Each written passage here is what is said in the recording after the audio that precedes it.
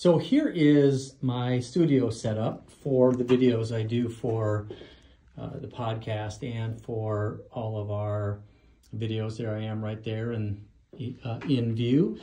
But uh, the camera that I use is a Canon EOS 6D Mark II. I use a Sigma 24 millimeter lens. That's what allows me to get that nice bokeh background. You can see it's actually relatively close to where I sit. So sitting right here, I have my MacBook. I utilize a Shure SMB7 microphone for the audio. That's going into a Focusrite uh, USB um, uh, audio interface that I'll, I'll run right into Logic Pro.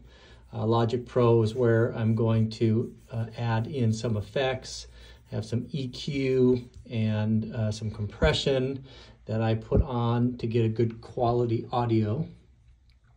And then I'm gonna run all of this either through an ATEM Mini, if I'm doing multiple camera angles, which I can uh, have a camera set up uh, over to my right to be able to look at anything that might be uh, on my desktop, such as recording a phone.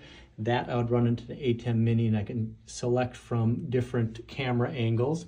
And then also what I use is Ecamm Live. Ecamm Live allows me to create these multiple uh, scenes and I can switch between the scenes pretty easily uh, just by making my mouse over to this part of the screen. I can switch between my entry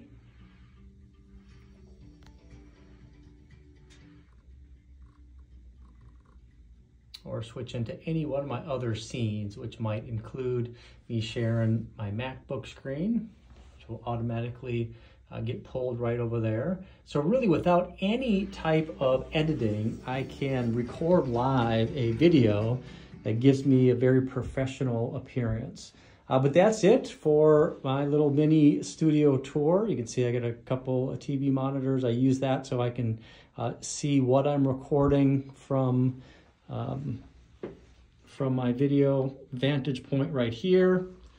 And then I run over here with that in the background. And this actually runs off of my main workstation, which I have over here, which is an iMac Pro. I got my iPad and and so on. And this is all everything that's in the background for my little mini studio. So I appreciate you tuning in. Hopefully this answers some questions that you guys might have. Hopefully you found it uh, interesting. If you did, please uh, give me a thumbs up or subscribe or leave any comments. Uh, I do appreciate it. Have a good day.